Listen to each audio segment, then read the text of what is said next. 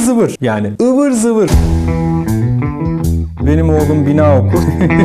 döner döner yine okur. Magellan çok güzel adamdı, çok kral adamdı. Miço nasıl kanıyor buna? Böyle sihirli şeyler yani. Merhaba hocam, hoş geldiniz. Merhabalar, hoş bulduk. Okumak için bugün bize ne getirdiniz hocam siz? Bu e, Zweig'ın e, Magellan e, kitabını getirdim. E, aslında sizle bu ilk iletişime geçtiğimiz zaman e, şöyle düşündüm. Yani ben edebiyatçı değilim. Hani burada bir edebi eser tartışmak e, çok da haddime değil gibi e, düşündüm açıkçası. Hani ne getirebilirim, burada ne konuşabilirim üzerine diye düşündüm. E, aklıma böyle bir şey geldi. Hani bir e, tarihçi de değilim. Hani böyle bir tarihi bir e, vesika, bir tarihle ilgili bir kitaptan ziyade böyle kendi subjektifliği içerisinde değerli olan bir e, otobiyografi olabilir e, diye düşündüm. İşte Magellan diye işte dünyanın yuvarlak olduğunu yaptığı seyahatle e, kanıtlayan e, bir adamcağızın hikayesi. E, ama e, ben kendi formasyonumdan dolayı, kendi bakış açımdan dolayı e, dönüp dönüp yine okuduğum bir bina olduğundan dolayı bunu farklı anlamlandırıyorum aslında. Biyografi ama çok önemli bir edebiyatçı tarafından yazılmış, Evet. Zweig tarafından yazılmış bir biyografi. Çok değerli bir e, adamcağız. E, niye çok değerli bir adamcağız? Çünkü iyi bir edebiyatçı. E, İkinci Dünya Savaşı döneminde e, intihar ediyor. E, Evet. Şeyde yani Alman asıllı e, intihar ediyor çünkü işte dayanamıyor. İşte o- Karısıyla birlikte. Karısıyla birlikte. Hatta Brezilya'da veya Arjantin o taraflarda bir yerlerde e, savaştan kaçıyor falan. Açıkçası biraz Alman olduğundan utanıyor. Ee, yani o işte Nazi Almanyası'nın yaptığı şeylerden dolayı falan. Ee, ama Batı medeniyetine veya Batı edebiyatına e, çok önemli eserler Vermiş evet. e, sunuyor. E, Çok entelektüel bir adamcağız. E, İşte kütüphanelerde böyle kütüphane kurdu e, gibi bir adamcağız. İşte bir sürü eser e, okuyor, ediyor onları. Çok güzel otobiyografiler, e, çok güzel biyografiler e, yazıyor. E, Kısa hikayeleri de var ama bence asıl değeri yazdığı biyografilerde. Birçok biyografi. Çünkü e, yazdığı biyografilerle aslında Batı medeniyetinin temel taşlarını hatırlatıyor döneminin e, insanlarına. Yani bakın biz böyle bir medeniyetiniz, medeniyetiz, bizim böyle kahramanlarımız, bizim böyle büyük adamlarımız var e, diyor. Ee, Zweig, Hitler'in e, düzeninin kalıcı olduğunu e, düşünerek e, o korkuyla intihar eden bir insan. Evet. Ee, bu kadar kendi medeniyetine eleştirel yaklaşabilmiş olan bir yazarda bu eserde oryantalist, batı merkezci bir bakış açısı var mı hocam? Çünkü tüm dünyadan, tüm kültürlerden bahseden bir eser Yani Batı merkezci olmaması mümkün değil. değil. mi? Ee, yani e, çok öyle e, bütün dünyayı e, kuşatan veya işte herkesi e, içine alacak şekilde böyle çok evrensel bir düşünce çok evrensel sandığımız düşünce akımlarında bile yok aslında. E, onun için Zweig'ı ben bu konuda eleştirmem ama haklı bir e, ifade. E, batı merkezli bir düşünce var. Mace- var. Tabii Magellan'ı anlatırken de öyle. E, ee, diğer eserlerinde de öyle. Coğrafi keşifleri işte Magellan'ın yaptığını, Colombo'nun yaptığını, e, Colomb'un yaptığını, e, diğer e, Kaşif. kaşiflerin yaptıklarını Haçlı seferlerinin devamı olarak görüyor. Ee, Haçlı seferlerini e, biz bambaşka anlıyoruz. Ee, ama işte bir işte bundan 100 sene önce, 200 sene önce yaşamış bir batılı başka anlıyor. Coğrafi keşiflerde temel mesele işte biz ne kadar bilimseliz, hadi gelin e, dünyanın yuvarlak olduğunu kanıtlayalım falan değil. Ee, doğudaki ticaret yolları Müslümanların elinde. Ve Müslüman tacirler onların ulaşmak istedikleri yerlerde varlar. Orada ticaret yapıyorlar. Müslümanlarla veya Müslümanlarla olan ilişkiden veya Doğu ile olan ilişkiden doğan bir şey var. Çünkü Papa e, doğrudan e, işte e, o zaman dünyanın yuvarlak olduğuna dair de çok var yani öyle bir düşünce var falan ama henüz kanıtlanmış değil veya kabul edilmiş değil tam anlamıyla. İşte e, doğuya giderseniz oralar e, İspanya'nındır, batıya giderseniz oralar Portekiz'indir diye kararı var Papa'nın. Çünkü ikisi de Katolik ülke bunların. Yani o sömürgecilik faaliyeti Papa tarafından paylaştırılmış zaten. Kitapta Dünyayı da. paylaşmışız. Tabii yani oraya doğudan gidersiniz. Ee, Magellan'ın dünyanın yuvarlayın batıya giderek doğuya ulaşmasının altında yatan esprilerden bir tanesi de o. Ee, çünkü Magellan Portekiz vatandaşı bir adam. Bir işte bir emekli asker diyelim veya işte hani bir alt soylu bir aileden geliyor. Fakat işte bir savaştan dönüyor. Portekiz'de istediği taltifi göremiyor. Ee, ve daha sonra İspanya'ya gidiyor. İspanya kralıyla anlaşıyor. İspanya kralı buna gemiler veriyor falan ve bu meşhur e, gemisine, meşhur seyahatine böyle başlıyor. Ee, hatta bu Portekizli olmasına rağmen İspanyol donanmasıyla yola çıkmasını çok güzel bir şekilde ifade ediyor ee, Zweig. Bir kere taraf değiştiren her zaman yeniktir. Yense de yeniktir, yenilse de yeniktir diye. Ee, Böyle çok güzel e, ifadeler, çok güzel e, aforizmalar da var kitapta. Bu anlamda da değerli. Ee, Ama e, Magellan e, İspanyol tarafına geçtiği zaman öyle ikna ediyor İspanya kralını. Diyor ki bakın papaz batıya e, giden gemileri Portekiz e, gemilerine izin veriyor. Doğuya gidenleri işte İspanya'ya izin veriyor. Ve Tam tersi pardon. E, Biz batıya giderek doğudaki adalara, doğudaki zengin baharat adalarına ulaşırız diyor. Böyle ikna ediyor ve 5 gemi alıyor. Bu, bu, bu şey, bu değerli. Zaten bence bu tür eserlerin biz doğulu işte Müslüman Türklere söylemesi gereken önemli şeyler bunlar. Yani Magellan'da, İspanya'da, Portekiz'de, kilisede, işte Katolik kilisesi de bu sömürgecilik faaliyetlerinin neresindeler, nasıl e, işlev görüyorlar?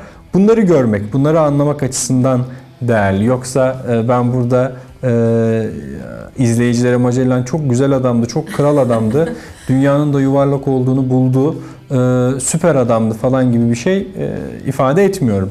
Ama bu hatıralar, bu anılar, buradaki bu e, konuşmalar e, bize farklı şeyler anlatıyor, söylüyor.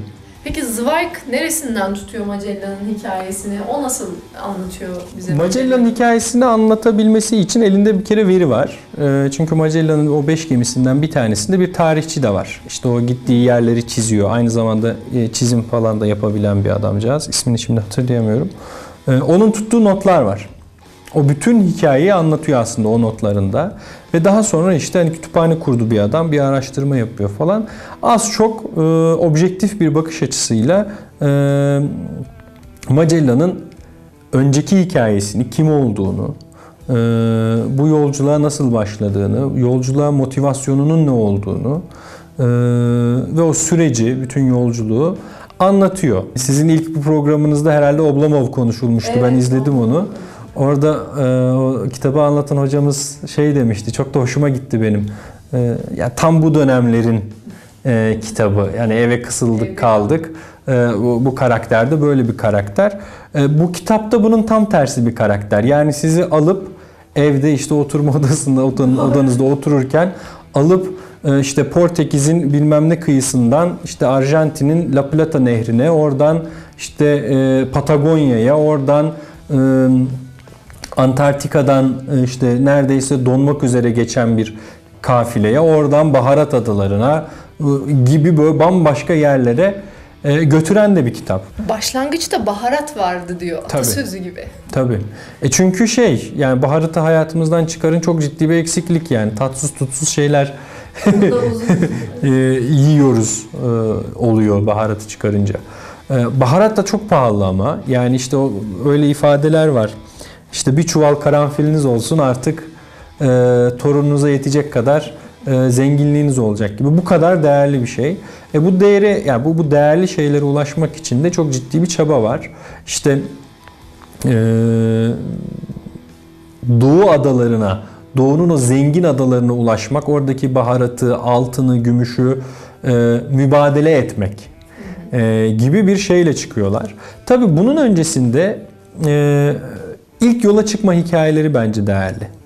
Çünkü ben şöyle düşünüyorum. Tabii yani işte 2020 yılında e, işte birçok teknolojik imkanla e, muhatap olan e, bir sınırlı objektiviteyle düşünüyorum. Yani bir insan nasıl ikna olur? Mesela Miço nasıl kanıyor buna? Yani kimsenin şöyle bir ruhu yok açıkçası. Yani burada bize ifade edilen şey o. İşte maceracı, o- kimsenin öyle bir şeyi yok. Çünkü çok zorlu. Yani bu beş geminin 3 üç tanesi ne- neredeyse iskorbitten telef oluyor. E, Bir tanesi kayboluyor, bir tanesi e, geri geliyor, gelebiliyor anca. 3 yıllık bir şey, macera. E, Orada şeyin çok etkisi var. Kilisenin çok etkisi var. E, O insanları ikna Motivasyon etmekte. kaynağı Motivasyon. Çünkü bu tek motivasyon ben zengin olacağım değil. E, maceracı olmak falan zaten e, konu dışı. Bir de şöyle bir motivasyon var. E, Tanrı'nın buyruğunu yayacağım. Doğulular da işte hani böyle e, kutsanmamış insanlar. Yani böyle dini bir tarafı da var. Yani batılı bir e, katolik, batılı bir puriten, batılı bir protestan az çok kendini biz Tanrı'nın kutsadığı, kurtulmuş, cennetin krallığını burada kurmuş e, insanlarız. Diğerleri kurtulmamış insanlar. Onun için onları çok değerli görmeme de var. E, yani onları böyle e, şimdi hani kölelik e, falan meselesi de tartışılıyor veya siyah hi insanların e, Amerika'daki durumu da tartışılıyor. Çok net, çok temele inen böyle bir bakış açısı da var aslında. Çok değerli görmeme, yarı insan, yarı e, hayvan e, görme durumu var.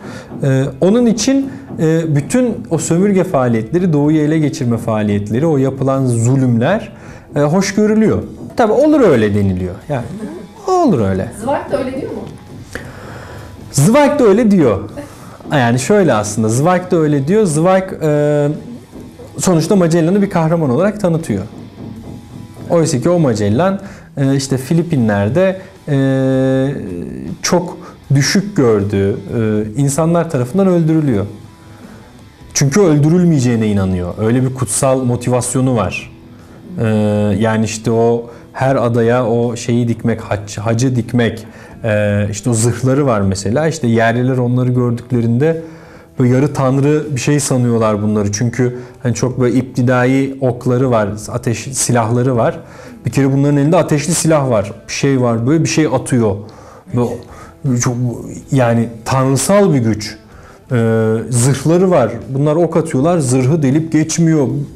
Çünkü demir görmemiş bu adamlar. Tabii bunlar da biliyorlar. Yani çünkü bu gemilerin depoları şey dolu. Küçük zil, e, renkli renkli mendiller. Bunların hiçbir o yerlilerin aletleri Olağanüstü değiller şeyler. ve böyle sihirli şeyler yani. Ayna mesela yani aynayı düşünün. Bakıyorsunuz ve kendinizi görüyorsunuz. Ve ıvır zıvır yani ıvır zıvır böyle hiç hiçbir maddi değeri olmayan şeyler. Bunlar gemilerde çakılı. Ee, Bunları altınla, bunları baharatla değiştiriyorlar. Yani bir çuval zil veriyor. Bütün ömrünü kurtaracak bir çuval karanfil alıyor. Muazzam bir ticaret. Yani ya ticaret değil aslında yani tam bir sömürgecilik faaliyeti. Bu tür e, biyografileri, bu tür böyle tarihi vesikaları biraz böyle de okumak lazım. Nasıl bir adam? Onu biraz belki söyleyebilirim. Magellan. Magellan nasıl bir adam? E, tipik bir denizci aslında. Aksi, inatçı, e, yönetim meziyetleri pek yok. Tayfasıyla çok problemi var. Tayfası birkaç kere ortadan kaldırmaya çalışıyor, isyan ediyor falan. İsyan var. Tabii Gemide. isyan var gemide. Ee, ama çok idealist, işte böyle çok iyi bir Hristiyan, çok iyi bir Katolik. Ee, ailesine e, bir yurttaşlık onuru elde etmek istiyor. Yani orada da Avrupa'daki aslında o e, sınıfsal geçişlerin ne kadar zor olduğunu anlıyoruz o dönemde. E, çünkü işte askere gitmiş gelmiş askerlik yapmış ama çok alt düzeyde bir soylu kimsenin de umursamadığı bir adam. Ailesinin, çoluğunun, çocuğunun böyle olmamasını istiyor. Böyle bir e, şeyi var. Bir de e, Zweig'ın e, bu hani az önce dediniz ya siz böyle bir şey paylaşıyor mu acaba Zweig diye. E, şöyle bir metin var bir yerde geçiyor kitapta. İnsanlığın laneti en büyük başarıların kanla ve zalimler tarafından alınıyor olmasıdır. Yani e, bu çok başarılı bir iş.